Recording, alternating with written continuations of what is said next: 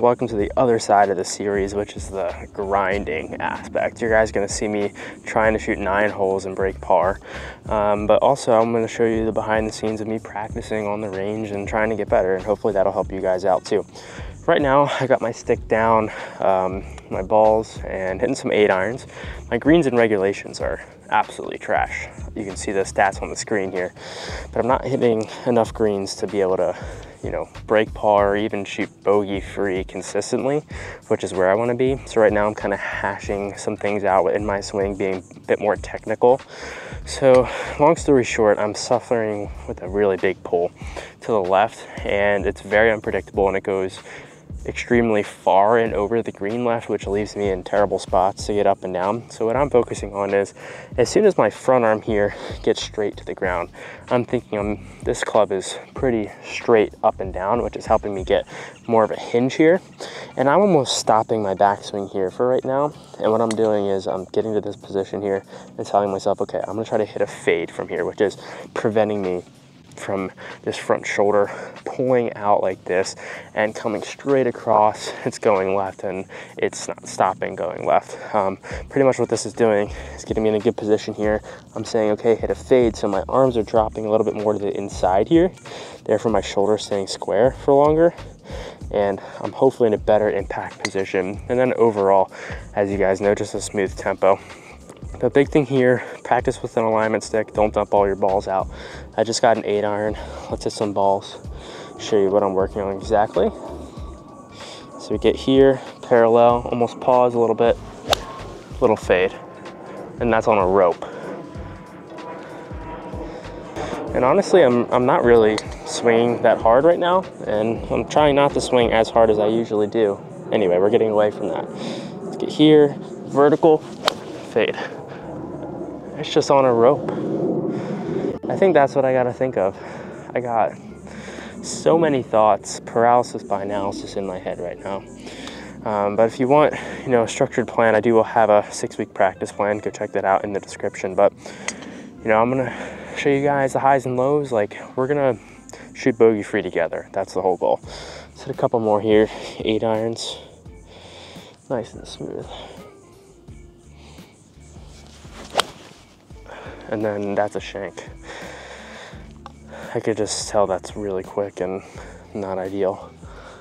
Come on now, let's get closer, more vertical. That's kind of the miss right there. You can almost see it, my front heel almost spins out. Everything is so far left, I'm overly rotated, flipping the hands, all that nonsense. That's what we're getting away from. We're quieting the lower body, quieting everything, more controlled, more connected. That's the goal.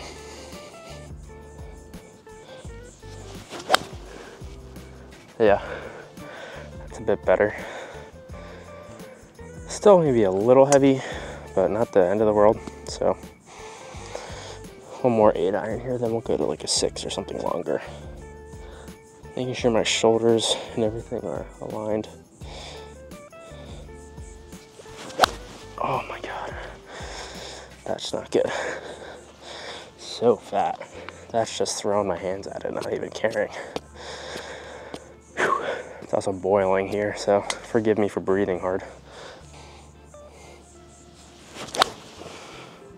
Something like that. Way more committed. All right, let's grab a six iron, see where we're at with that guy. Reminder to subscribe, helps me out a lot, so. And stay hydrated. Okay, we got a six iron here. Let's try some more. Same target, same feelings. Check the fundamentals. Yeah. I think that feeling of just, okay, I'm gonna hit a little fade is gonna really help me out because I naturally kind of draw it with my irons, but it's like the over exaggeration thing. I'm telling myself to hit a fade, but it's really not fading, it's just going dead straight. So whatever I'm doing, like mechanically, it's kind of figuring itself out. That's the one we don't want. Not a good swing.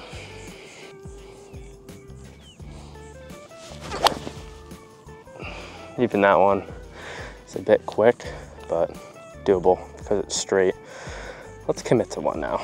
Two rehearsal here, nice and vertical. Just get down in front of it like that.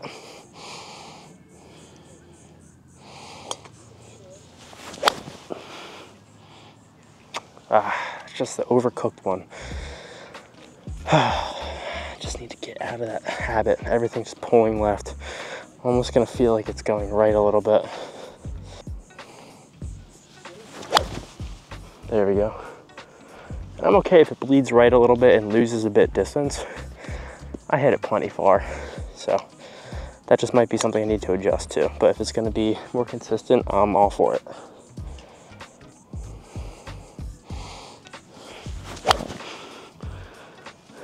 That's a bit flippy.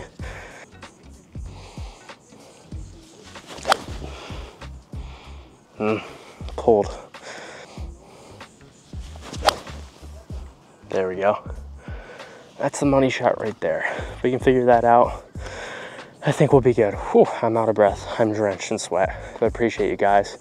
Hopefully you're enjoying the other half of this. Make sure to subscribe. See you guys out here real soon.